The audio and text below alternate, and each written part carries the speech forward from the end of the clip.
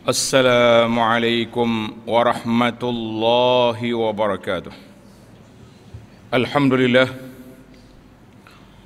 Alhamdulillahilladzi hadana subul salam wa afhamana bi syari'atin nabiyil karim.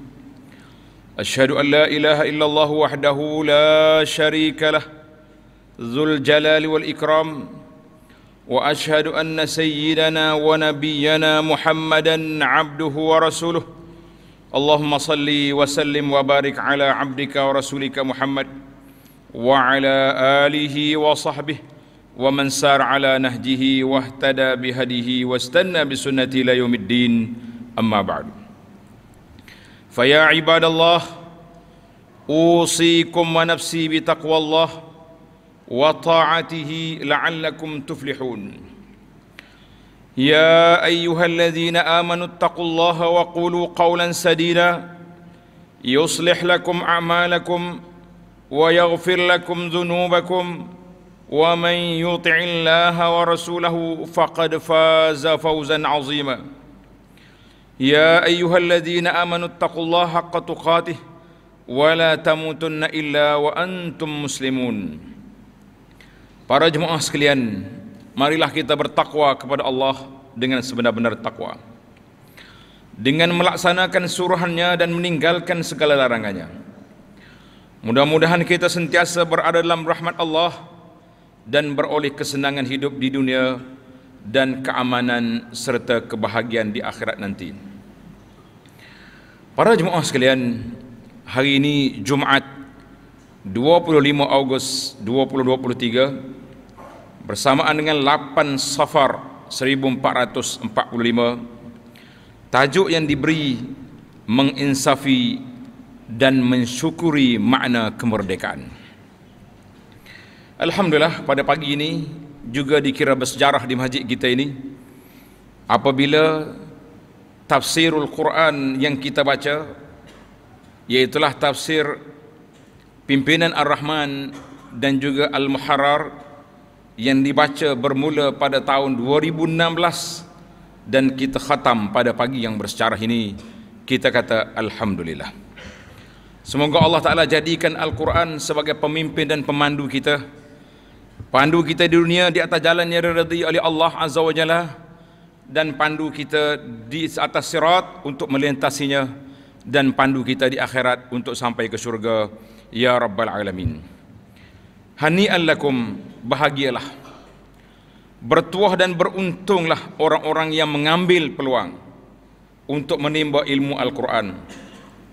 Sama ada mereka berada dekat dengan kita atau jauh Alam maya telah menyatukan kita Untuk menimba, mencari Al-Fawaid beberapa faedah Daripada ilmu tadabur Al-Quran.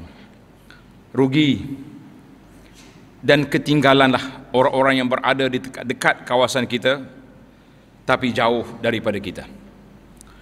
Orang yang berada di pinggir masjid berjiran dengan pondok tapi tidak mengambil peluang yang diberi oleh Allah Azza wa Jalla kita mengatakan bahawa kalaulah peluang ini tidak diambil insya-Allah ada orang lain yang akan ambil.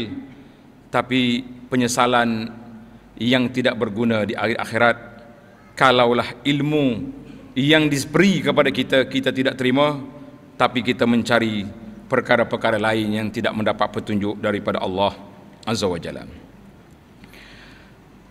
Para jemaah sekalian muslimin dan muslimat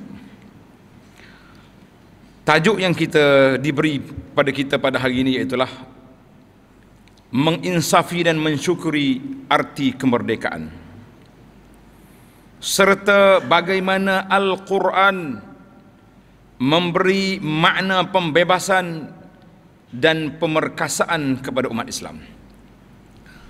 Serta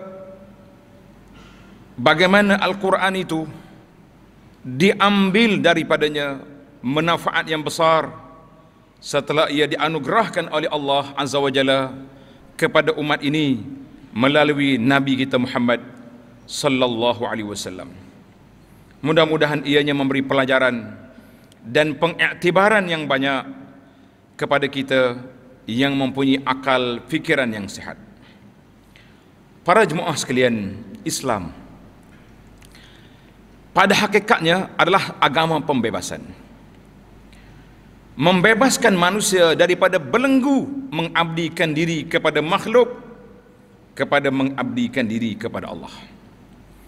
Daripada menyembah batu-batu, kayu-kayu yang tidak bernyawa kepada menyembah Allah yang maha berkuasa daripada tunduk kepada hantu dan dewa-dewa kepada tunduk dan akur kepada pencipta Rabbus Samawati wal Ard.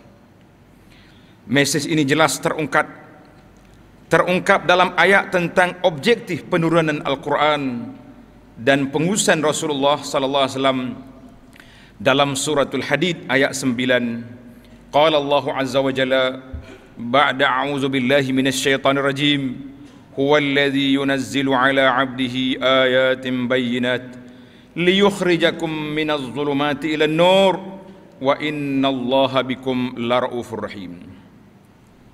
Artinya Allah lah yang menurunkan ayat-ayat yang terang yakni Al-Quran kepada hambanya iaitulah Muhammad sallallahu alaihi wasallam untuk mengeluarkan kamu dari kegelapan kepada cahaya. Dan sesungguhnya Allah terhadap kamu maha penyantun lagi maha penyayang. Kalimah az-zulumat makna kegelapan. Dalam ayat ini meliputi segala rupa bencana kemanusiaan sama ada kesesatan dalam kehidupan kejahilan dalam amalan, kebekuan dalam pemikiran, kemunduran daripada akhlak ataupun kejahatan dan kezaliman, kecurangan dan lain-lain yang sejenis dengannya yang membelenggu jiwa manusia yang jauh daripada Allah Azza wa Jalla. Maka umat Islam mesti dibebaskan dan dimerdekakan daripada segala bentuk bencana tersebut. Apalah artinya bebas daripada suatu kegelapan jika kemudiannya dijerumuskan ke dalam kegelapan yang lain maka manusia mukmin adalah manusia yang berjiwa merdeka yang tahu tentang ketinggian martabat keinsanannya setia memelihara pesanan innahu laisa lil mu'min an yudilla yudilla nafsah sesungguhnya tidak harusnya seorang mukmin menghina dirinya sendiri apa maksud kita hina diri? Walaupun kita kaya, kita punya kedudukan dan pangkat, tetapi kalau kita tunduk, tidak tunduk kepada syariat Allah, bermakna kita membinasakan diri sendiri, kita telah menghinakan diri kita di hadapan Allah Azza wa Jalla. Para jemaah sekalian, sejarah perjuangan kemerdekaan tidak lahir hanya dari cetusan semangat cintakan negara dan semangat kebangsaan dalam pengertian sempit tetapi ianya lebih dari itu. Ia tercetus dari semangat jihad demi agama. Untuk membebaskan bangsa daripada cengkaman para penjajah ataupun pemikiran-pemikiran yang songsang dan membebaskan tanah air daripada diratah oleh musuh-musuh negara. Semangat juang umat Islam telah bangkit menyahut panggilan jihad melawan melawan penjajah yang dilaunkan oleh tokoh-tokoh pejuang Islam daripada dahulu sehingga sekarang. Bagaimana mungkin dapat dinafikan semangat dan kekuatan motivasi motivasi keagamaan dalam meniup kebangkitan anti penjajahan yang dipelopori oleh tokoh-tokoh ulama umat ini sama ada di negara kita ini ataupun di negara lain. Beberapa nama yang disebut dalam sejarah bagi negara kita ini iaitulah seperti Tuan Guru Haji Abdul Rahman Limbong, Haji Mak Hasan, Haji Muhammad Yusuf dan lain-lain tokoh-tokoh ulama yang sepatutnya perjuangan mereka membebaskan manusia daripada syirik, membebaskan negara daripada penjajah diambil perhatian. Tetapi malangnya Tok Kenali hanya dijadikan umpan untuk melakukan acara-acara atau perkara-perkara yang tidak disyariatkan oleh Allah Azza wa Jalla. Kononnya ini ajaran makrifat Tok Kenali. Pergi kubur berjoget di kubur Tok Kenali. Kita kata ini bukan cara orang yang nak membebaskan akal daripada perkara-perkara yang dilarang oleh Allah Azza wa Jalla. Bagaimana mungkin boleh dilupakan peranan ulama dan institusi pendidikan Islam dalam gerakan menentang penjajah? Inilah beberapa contoh betapa benarnya perkongsian wawasan dan peranan ulama dalam mengisi kemerdekaan dan pembebasan negara. Perjuangan kemerdekaan sebenarnya tidak berakhir dengan hanya menghalau penjajah dari bumi pertiwi bumi yang tercinta ini. Dunia Islam masih belum aman dari bahaya penjajahan. Umat Islam kini dihadapkan pula dengan bahaya penjajahan bentuk baru seperti penjajahan budaya. Kita tengok hari ini budaya kita tidak bebas. Di zaman kita hidup hari ini dia panggil zaman globalisasi. Dalam bahasa Arab dipanggil zaman al-aulamah di mana orang kafir nak orang Islam makan apa yang dia makan. Dia nak suruh kita pakai apa yang dia pakai. Dia nak suruh kita buat apa yang dia buat. Tuan-tuan dan para jemaah sekalian boleh tengok sekarang bagaimana anak-anak orang Islam yang telah terjebak dengan penjajahan baru ini seolah-olah mereka tidak ada budaya, seolah-olah mereka tidak ada agama, seolah-olah mereka tidak ada pegangan nana kata orang Kelantan, tidak ada panduan dalam hidup beragama. Maka bahkan lebih buruk lagi berleluasanya jenayah perhambaan, penjana, penjanahan ekonomi dan sebagainya, jenayah perhambaan dan penindasan sama manusia sehingga memperlekeh dan menghina kemuliaan manusia.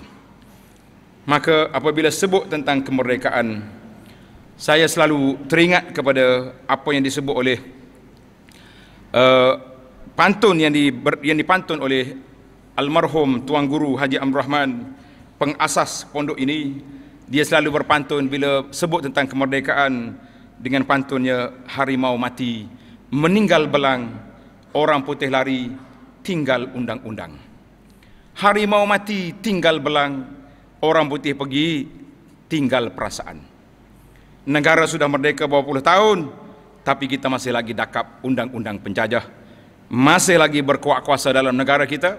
Kalau ada cubaan untuk menguatkuasakan undang-undang syariah enakmen-enakmen syariah walaupun sedikit mereka akan dicabar di mahkamah-mahkamah yang masih lagi berpegang dengan penjajah.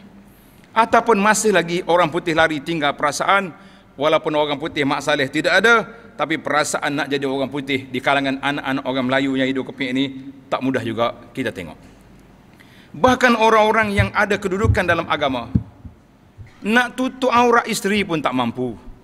Masih lagi tidak tutup aurat walaupun perkara itu adalah perkara mudah kita tak bincang lagi tentang undang-undang hudud dalam hukum jenayah Islam undang-undang berpakaian pun masih lagi gagal. Para jemaah sekalian insaflah bahawa kemerdekaan yang telah dicapai ini merupakan kurniaan Allah Subhanahu wa taala yang mesti disyukuri dan dipelihara sebaiknya. Kegagalan menjaga dan meliharanya akan sekali lagi menjerumuskan kita ke lembah penjajahan baru mungkin yang lebih dahsyat iaitulah al-ghazwul fikri serangan pemikiran yang akan mengubah budaya masyarakat di mana saja mereka berada. Dalam kaitan ini para pengkaji dari kalangan umat Islam menyebut bagaimana sesuatu bangsa boleh terjajah. Antaranya penjajahan berlaku bukan hanya disebabkan kerakusan dan kebuasan penjajah semata-mata tetapi lebih dari itu disebabkan oleh kerusakan dalam masyarakat pribumi iaitulah masalah jiwa. Jiwa lemah. Duk rasa kita hina ikut orang putih baru bahagia minda juga beku dan bendaya masyarakat yang merangsang dan membuka ruang kepada penjajahan. Sikap watak dan mentaliti rakyat yang mudah menerima penjajahan itulah yang disebutkan al-qabiliyatu lil isti'mar iaitulah masyarakat sendiri yang menerima untuk dijajah oleh mana-mana penjajahan dalam negara negara umat Islam. Ada juga yang menyebut tentang umat Islam dijajah kerana kegagalan kekalahan dari sudut psikologi. Dia rasa dia hina. Kalau mengaku Islam kita tak mulia sebab itulah di antara benda ajaib yang kita dengar dalam dunia ini apabila orang Islam, anak orang Islam yang masih lagi berbinkan bintikan Islam tapi mereka yang mencabar undang-undang Islam. Saya bergurau kita kata orang kata dalam dunia ni ada tujuh perkara ajaib dalam dunia. Saya kata yang kelapan anak orang Islam menentang undang-undang Islam. Dengan itu para jemaah sekalian hati-hati. Jangan kita jadi manusia yang ajaib dalam dunia. Jangan kita biarkan anak-anak cucu kita menjadi manusia yang ajaib dalam dunia. Sebab kalau kita tidak berbangga dengan Islam apa guna kita menjadi orang Islam dalam kaitan yang sama seorang tokoh pemikir dan gerakan islah Al-Amir Syakib Arsalan rahimahullah seorang tokoh dan juga seorang pendakwah yang hebat yang hidup di akhir khilafah Utsmaniyah Turki menyebut dalam bukunya yang berjudul Mengapa kaum muslimin mundur dan kaum selain mereka maju. Dalam konteks kemunduran umat Islam, beliau menyimpulkan memang masalahnya adalah penyakit dalaman. Kerusakan hati, sikap akhlak dan pribadi umat Islam yang semakin parah sebagaimana firman Allah Taala dalam surah Al-Baqarah ayat 10 fi qulubihim maradun fazadahumullahu marada walahum adzabun alimun bima kanu yakzibun. Dalam hati mereka ada penyakit. Lalu ditambah oleh Allah penyakitnya. Dan bagi mereka seksa yang pedih disebabkan mereka berdusta akibat penyakit hati yang parah inilah pula penyakit hati yang parah inilah pula yang menjadikan sebilangan daripada kalangan Pak Turut kepada penjajah.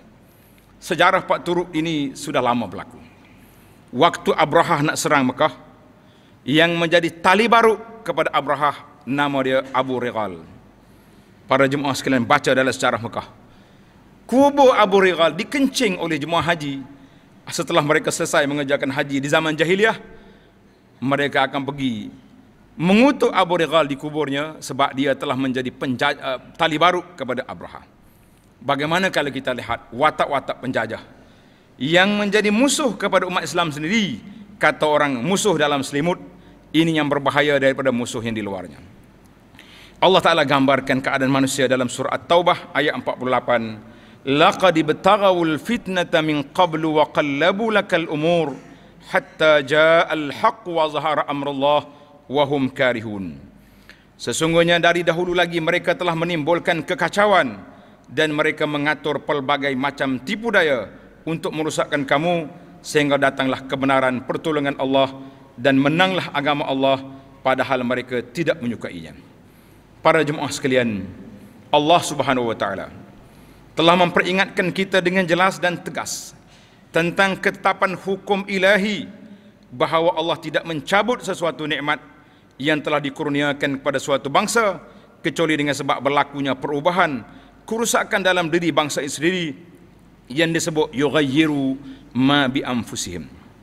Hal ini dapat dipahami menerusi firmanullah taala dalam suratul anfal ayat 53 Allah lam yakum mughayyiran ni'matan an'amaha ala qaumin hatta yughayyiru ma bi anfusihim wa anna Allah sami'un alim Balasan yang demikian itu adalah kerana sesungguhnya Allah sekali-kali tidak akan mengubah suatu nikmat yang telah dianugerahkan kepada suatu kaum hingga kaum itu mengubah apa-apa yang ada pada diri mereka sendiri dan sesungguhnya Allah Maha mendengar lagi Maha mengetahui. Maka para jemaah sekalian ayat ini Allah Taala kata, aku bagi nikmat keamanan, keselamatan, kesejahteraan. Bila apabila kamu beriman. Bila kamu ubah kedudukan kamu daripada seorang yang mantap imannya kepada iman yang lemah, iman yang bergoyang, iman yang tidak istiqamah, maka ketika itu akan datanglah musuh-musuh yang akan menguasai kamu. Karena itu saya tegur sebahagian daripada penceramah. Masuk kampung dengan tajuk ubah mereka gunakan ayat ini. Yughayyiru ma bi anfusihim. Ubah kalau tidak kamu akan miskin. Minum air berkarak sampai ketua sampai ke mati. Kita mengatakan jangan salah tafsirkan ayat. Nak ceramah-ceramah tapi ayat Al-Quran tidak diubah. Karena itu Allah kata yughayyiru ma bi anfusihim. Kamu ubah pegangan agama kamu sehingga kamu dihina oleh Allah dengan datangnya penjajah menghina kamu di atas dunia ini wal billah jika itulah penyebab hilangnya nikmat kemerdekaan maka untuk mendapatkannya semula tidak ada jalan bukan mudah Karena itulah kata orang kita nak beringat sebelum benda harta kita dimiliki oleh orang. Kalau sudah bertukar tapak memang sukar untuk ambil kembali. Maka dengan itu pertahankanlah. Jagalah hak kita supaya kenikmatan yang kita berada ini dijaga oleh Allah Azza wa Jalla maka jalan untuk melakukan perubahan kembali semula maka kita perlu kepada islahun nafsi perbaiki jiwa perbaiki kepahaman kita tentang Islam rapatkan kita dengan Allah Azza wa Jalla jangan ubah keimanan yang ada dalam diri bahkan kita tambahkan keimanan kita kuatkan semangat. Bergantunglah kita dengan Allah. Ikutlah sunnah Rasulullah sallallahu alaihi wasallam supaya nikmat yang ada kekal dan Allah taala akan tambah lagi kebahagiaan-kebahagiaan lain. Mudah-mudahan kita bahagia di dunia aman di akhirat. Wahai hamba Allah bertakwalah kepada Allah azza wajalla jagalah iman kita. Jagalah akhlak kita. Jagalah akidah kita dan juga jaga ibadat kita. Biar selari dengan kehendak Allah biar bertepatan dengan sunnah Nabi sallallahu alaihi wasallam. Mudah-mudahan nikmat yang ada ini kekal dan Allah tambah baik lagi dengan nikmat yang lain-lain. Dalam kita menghayati arti dan makna kemerdekaan kita juga boleh mengambil ibrah pengajaran daripada ungkapan Sayyidina Umar Khalifah Umar bin Khattab radhiyallahu anhu ketika menerima kunci Baitul Maqdis dari Panglima Rom sebagai lambang kemerdekaan bumi Palestin dari penjajahan Rom. Kata Umar, "Nahnu qaumun." Sesungguhnya kami dahulu adalah kaum yang sangat hina. Lalu Allah Taala muliakan kami dengan Islam. Allah Taala muliakan a'azzanallahu bil Islam. Allah Taala muliakan kita dengan Islam. Maka jika kami mencari kemuliaan selain dari apa yang telah dimuliakan oleh Allah dengan Islam, maka Allah akan menimpakan kehinaan kepada kami. Maka dengan itu insaflah bahawa nikmat kemerdekaan yang dikurniakan oleh Allah Subhanahu wa taala merupakan suatu bentuk ujian kepada kita. Adakah nikmat kemerdekaan yang diberikan itu akan menjadikan kita lebih bersyukur kepadanya serta mematuhi perintahnya dan meninggalkan segala larangannya? Ataupun kita masih lagi tidak bersyukur Allah memperingatkan la in syakartum la azidannakum kalau kamu syukur aku tambah jadi para jemaah sekalian kalau kita nak bahagia di dunia, aman di akhirat, jagalah apa-apa yang telah disebut oleh Allah Azza wa Jalla kepada kita supaya kita dipelihara oleh Allah dan diselamatkan oleh Allah Azza wa Jalla di mana saja kita berada. Para jemaah sekalian pada hari Jumaat dan hari-hari yang lain sentiasalah berselawat ke atas Nabi sallallahu alaihi wasallam kerana perintah Allah dalam Al-Quran.